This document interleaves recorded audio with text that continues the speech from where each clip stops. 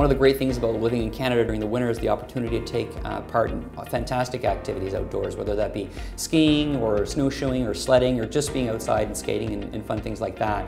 But it's also mindful to dress accordingly and to take precautions about uh, what winter actually has to offer us.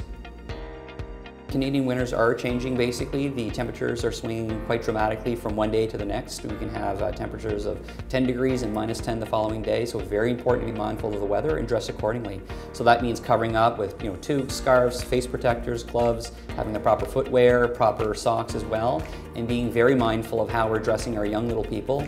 It's very important that people are mindful of not only the footwear that they're using, but also the way that they are walking.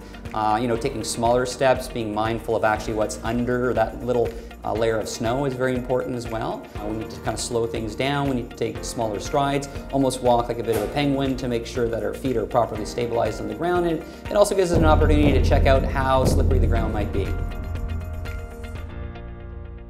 Shoveling again is a Canadian tradition and certainly people need to be mindful of the physical requirements that are needed for that kind of activity. Essentially people come in to see us in the ER department after sometimes overdoing it and overstraining themselves. Maybe they've thrown their back out, maybe they're having some shoulder pains. So important to take your time to do it at your own pace. Of course, unfortunately, it's also a time where people recognize that they might be experiencing some sort of cardiovascular event like a heart attack or angina.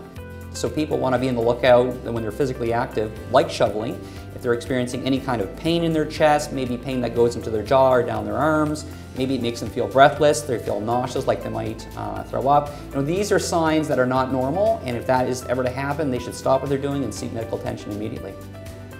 Hypothermia is a very serious condition. It's thankfully relatively rare, um, but things can increase the risk of people developing hypothermia, where our entire body core uh, temperature starts dropping to a dangerous level and starts affecting the vital organs that we have inside.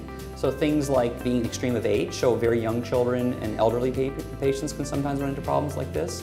Uh, people are on certain medications, heart medications and blood pressure medicines as well, can also be at risk of developing hypothermia. Uh, and as well, people who are outside and actually have consumed alcohol or drugs and maybe their, their mental states have been impaired may not recognize that their core body is actually dropping.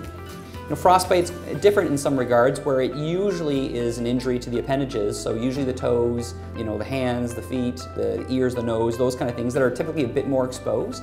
And it's when the tissue itself actually becomes injured by the drop in, in, uh, in circulation that is impacted by the low temperature. If people come in from the, the cold are able to warm themselves up, avoid rubbing the hands, for example, but really immersing them in a bath of warm water, uh, moving the hands around. If within 15 or 20 minutes they're not noticing like their circulation's improving and things are feeling back to normal again, they should certainly seek medical care because uh, we have other techniques to rewarm that tissue to make sure it doesn't become damaged. And you know, those kind of things go a long way to actually preventing these kind of injuries.